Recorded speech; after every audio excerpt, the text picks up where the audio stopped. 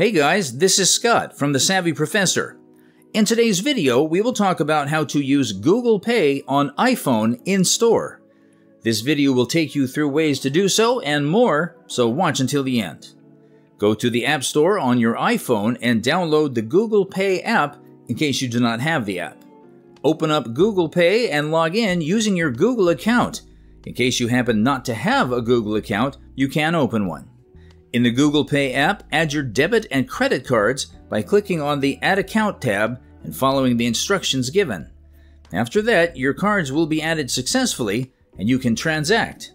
In case you have your accounts on the Wallet app, Google Pay can automatically transfer them into Google Pay.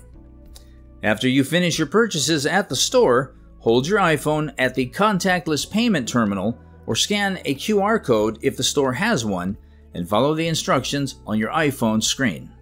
So that's how you can use Google Pay on iPhone in store. It is that simple. Thanks for watching.